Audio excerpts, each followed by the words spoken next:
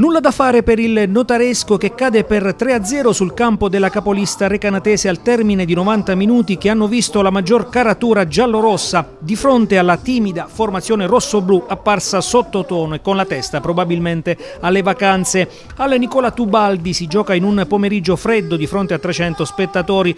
Al quinto minuto proteste vibranti della formazione marchigiana per un contatto in area ospite fra Bellardinelli e Senigagliesi che cade a terra e con Romaniello di Napoli che lascia proseguire.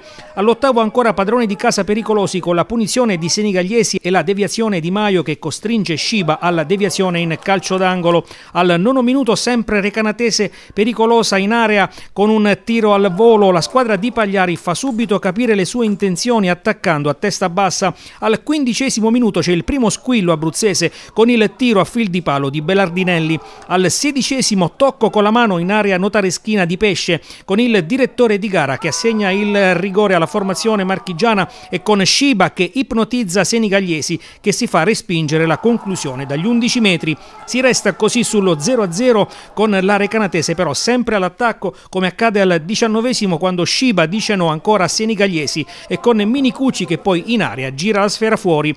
Gara che sembra praticamente a senso unico con la formazione di Epifani in affanno al cospetto dei Lopardiani. All'ennesimo tentativo quando il cronometro segna il trentesimo i padroni di casa trovano il gol con sbaffo che di testa su cross di Senigagliesi supera imparabilmente Sciba per l'1-0 marchigiano. Vantaggio meritato per i giallorossi che non si accontentano fino all'intervallo non accade più nulla con l'1-0 locale con cui si chiude il primo tempo.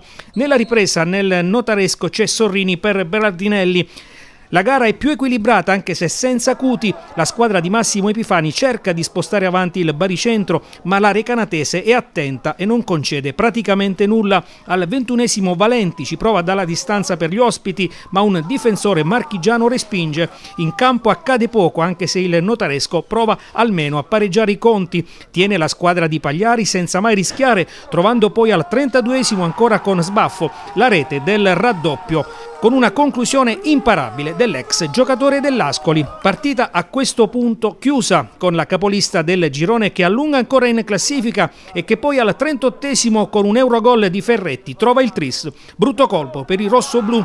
Ora due settimane di sosta per ricaricare le pile in casa notareschina prima della ripresa del 6 gennaio con il recupero di Castelfidardo e la gara del 9 gennaio in casa contro l'Alto Casertano.